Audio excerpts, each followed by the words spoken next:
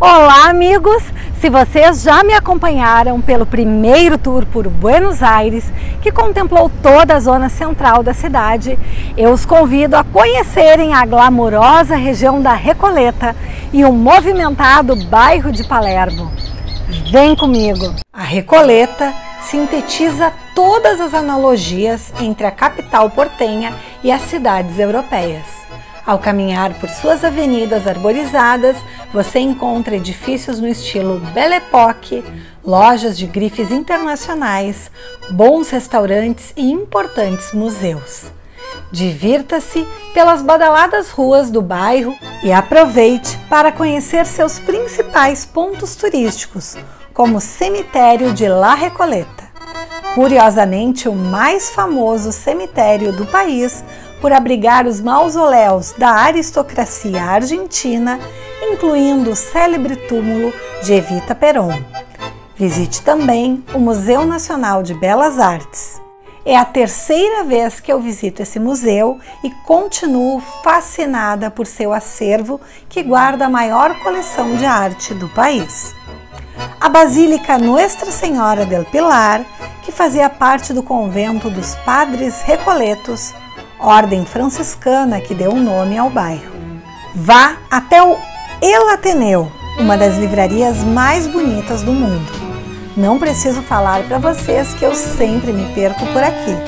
A livraria foi criada no espaço de um antigo teatro da cidade. Você pode aproveitar esse clima literário para tomar um bom café e curtir uma vista privilegiada da livraria. A cafeteria foi montada no palco do antigo teatro. Visite também o Centro Cultural Recoleta, instalado em um prédio do século XVIII. Percorra a Avenida Alvear. Seus quarteirões reúnem embaixadas, palacetes urbanos e lojas de grife. No bairro de Palermo, você pode visitar o Museu de Arte Latino-Americano de Buenos Aires, o Malba. Depois, siga para o bairro La Boca, antiga zona portuária, onde se encontra o Caminito. Chegamos ao Caminito, um pitoresco lugar da capital Buenos Aires que respira tango e é atualmente um dos principais pontos turísticos da cidade. Vem comigo passear por esse lugar incrível! Suas casinhas de madeiras e chapas de zinco foram pintadas por um grupo de artistas na década de 50, dando vida a um bairro decadente.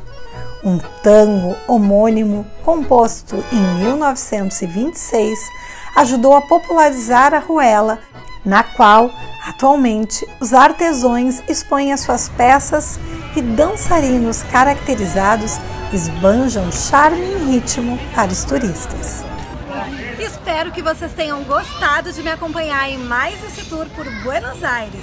Convido a todos a se inscreverem no meu canal no YouTube, a curtirem a minha página no Facebook, Vanessa Caruz, e a me acompanharem pelos próximos tours. Um beijo grande a todos e tchau, tchau!